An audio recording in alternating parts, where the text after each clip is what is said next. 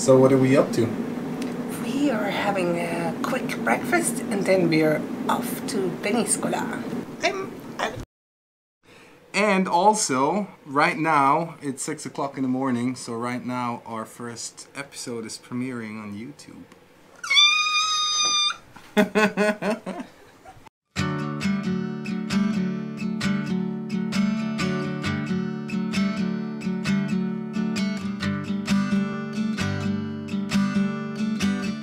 There is something magical about being underwater for sunrise. The surreal lighting and the golden sparkling on the water makes it a unique view of which we can't quite get enough.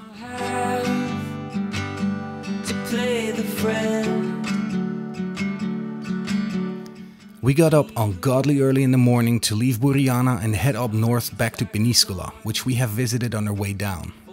We ended our shakedown cruise early because we were expecting a tramontana blowing our way in the next couple of days. You're a wild one. Hey, what's up?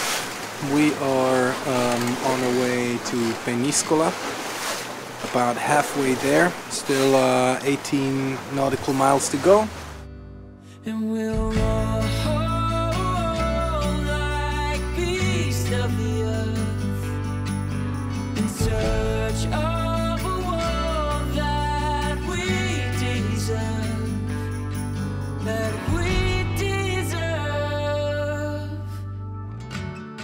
Making good way actually.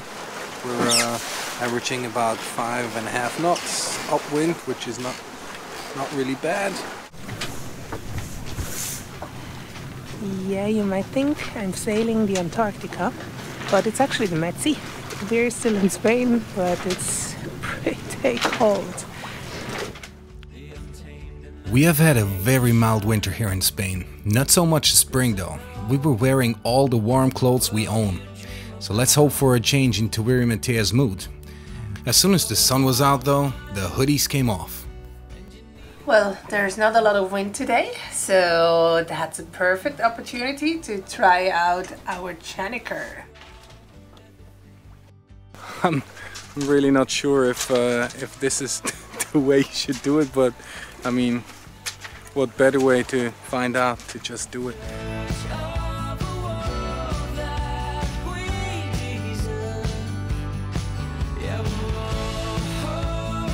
So as Rea said, we tried for the first time to rig our gennaker and we don't really know what to do with it.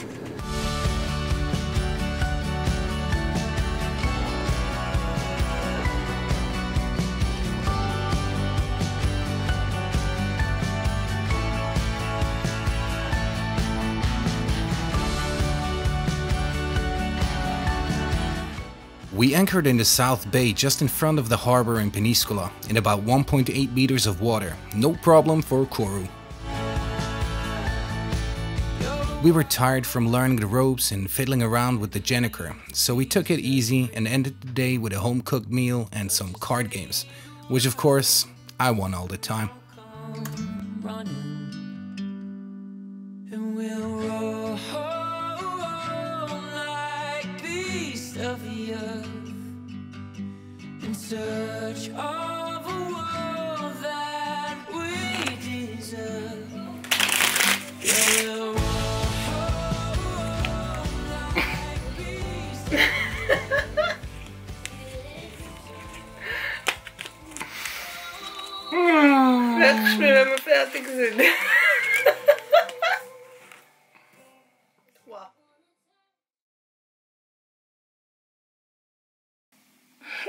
Hmm. Morning. Morning.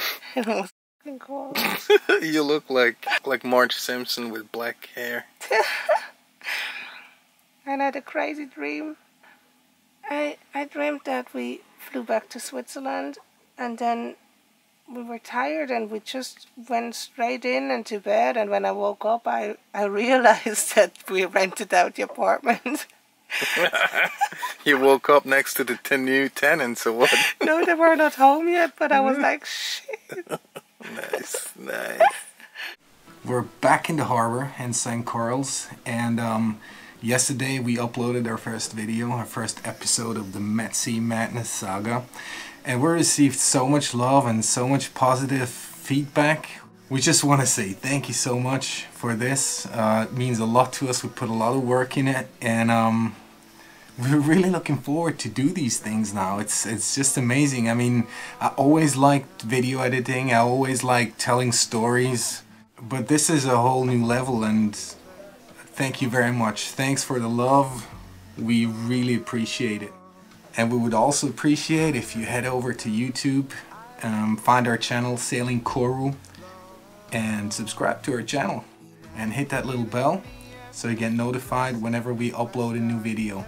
Thank you so much for your love, guys. Peace.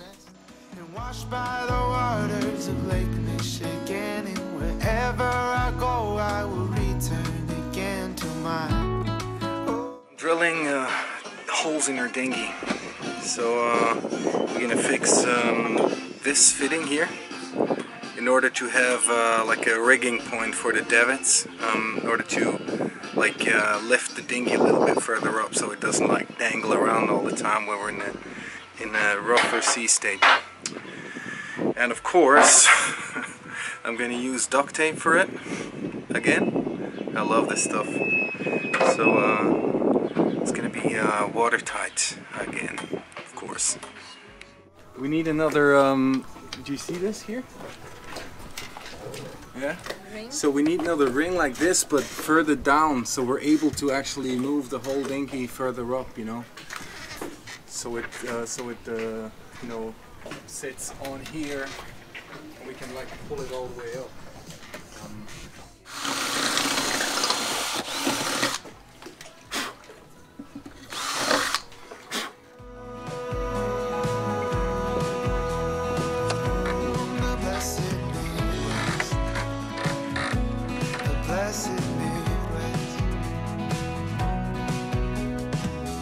Oil change was due as well. A very long time ago, back in Switzerland, I started an apprenticeship as a car mechanic. I was always into engines and all sorts of technical gadgets, and I'm glad these boat engines are fairly simple to maintain and to understand. Suck, squeeze, bang, blow. Our former sailing instructor Mark would be so proud of me right now.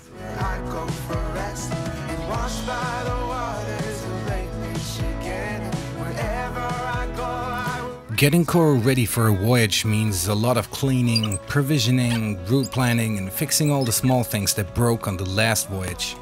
And of course, filling her tanks with fresh water, which in some arenas means water treatment.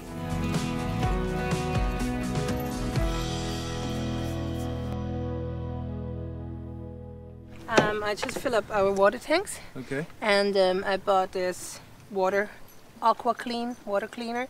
So we need about 150 liters of water in here. So I just put in one and a half grams as soon as this one opens up. And uh, then fill it up with the water and do the same on port side. And then we're all good. I mean, this this aqua cleaner is like for 10,000 liters of water, and uh, it's supposed to get the water drinkable for like six months. Rea filled the water tanks, and we're basically good to go. Now, just now, she uh, went to uh, the supermarket to get some more stuff she thought we need, and then we're uh, good to go. The weather, up until now, it's looking okay. Um, on our way to Tarragona, but could change. It's spring here in the Mediterranean, uh, and it's just you, can't really predict any weather. Let's just hope for the best and uh, we're gonna hug the coast a little bit so we're not like drifting off too far. So we should be fine I guess. Let's uh, I mean sooner or later we have to uh, just go out and even in foul weather. It's about uh, 80 between 70 and 80 nautical miles up there so will take us all day. We're gonna leave at uh, 5 o'clock in the morning sail in the dark for another like maybe two hours or one and a half hours before the sun start coming up. So um, yeah that's gonna be interesting though. We never did a night sail before on Koru so another first I'd say. Good morning. It's an early one, and we we look funny At least I do, with my headlamps and everything. But it's it's really warm because I put on all my clothes and it's so nice and quiet. And the stars look just beautiful. we uh, we actually thought we're gonna you know we're gonna encounter some some some rougher weather or some more wind at least and uh, it's really calm It's Right really now. calm. yeah so we're probably gonna motor for a while well we'll we'll see how it is when we get out of the delta Yeah, And that's then, what I uh, mean. yeah. Maybe then it starts to um with Yeah. big waves, so Yeah, you don't yeah, know. yeah we'll see we'll see Hopefully not. It was our first time sailing at night, and I have to say, it is something. People were telling us that it is special, but that peaceful bit of time between dark and bright, when the night starts turning deep blue and eventually the sun is dyeing the water golden, we were not prepared for so much beauty.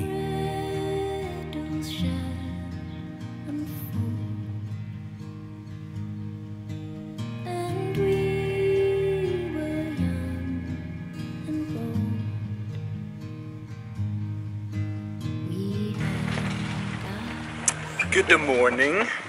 Good morning.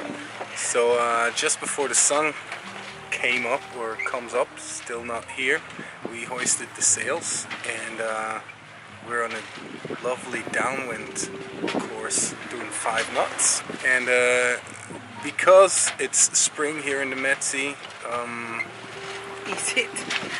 it is. Well, it doesn't feel like spring. but since it's um, spring in the Med Sea, the winds are completely uh, confused. We're just heading a little bit off course now, but not too bad because we're gonna cut port afterwards. So no big deal. I think we're pretty good on the on the way. Mm-hmm. No?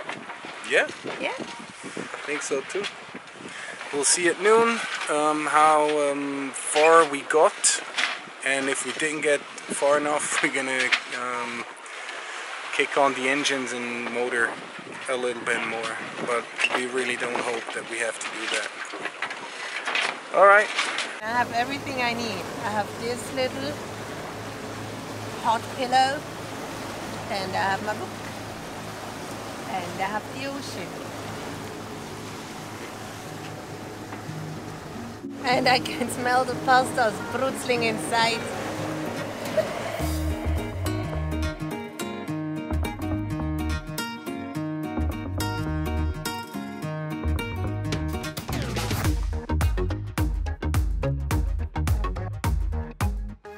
For the first time ever, we flew our drone off the boat, under engine and super calm seas. I'm pretty sure some of you guys have flown drones off a moving boat, maybe even under sail. I have to say, I have mucho respect for all of you. I find it extremely hard to catch that bloody thing in mid flight. If any of you have some tips for us, they're very much appreciated.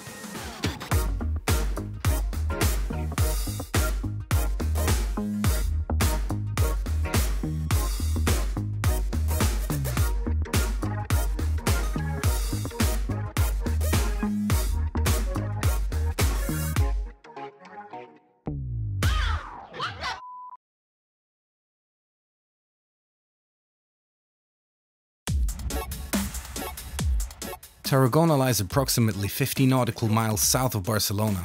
It offers a lot of history and a really nice harbor. We docked Koru cowboy style and went exploring.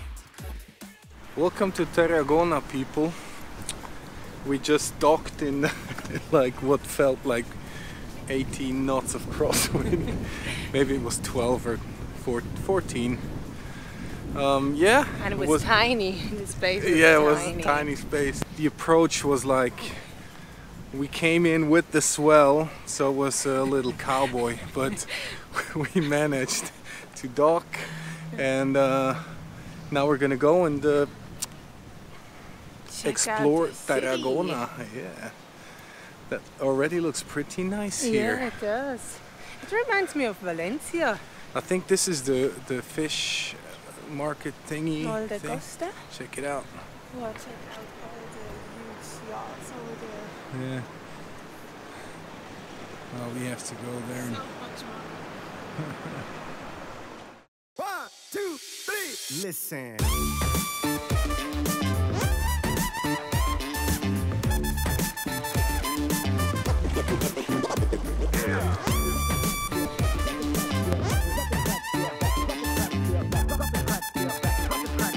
Why am I not surprised to see the Qatari flag on this boat?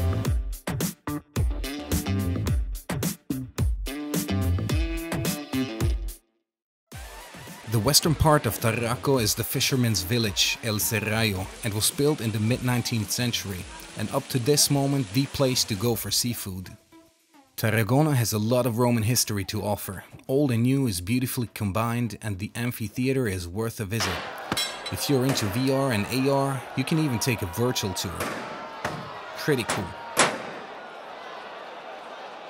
How cool is it to have a drone so we can see what's inside of this fort we can see from the outside?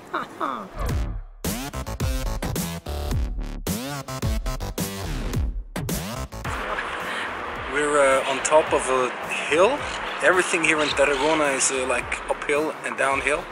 And we're on a little hill right next to a fort. And it's really beautiful how um, all these like old buildings and new buildings are fit into each other. It's it's really nice. And uh, we have an absolutely fantastic view from up here.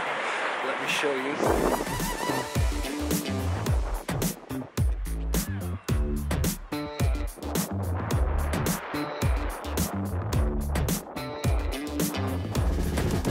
That's the fort. There's a lot of old uh, stuff, history, ruins, and uh, old buildings here in Tarragona, so we're going to explore a little bit more. Tarragona has a really pretty old town, and in some ways reminds us of our hometown Zurich back in Switzerland. We made our way up the hill on cobblestone streets and past beautifully restored buildings and a Romanesque cathedral from the 11th century. We did not expect Tarragona to have so much to offer, and we're glad we threw in a stop in this beautiful town. To see that you're a good man. You're a good man. A real good man. When the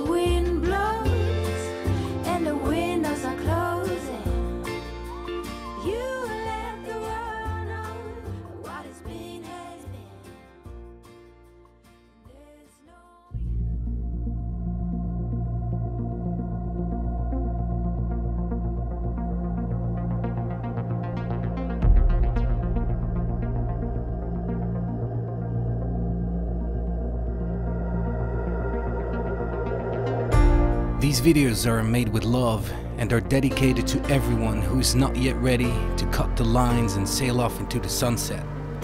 To everyone who seeks adventures and dreams of pure freedom and endless summers. To all of you free spirits and wandering souls. See you out there.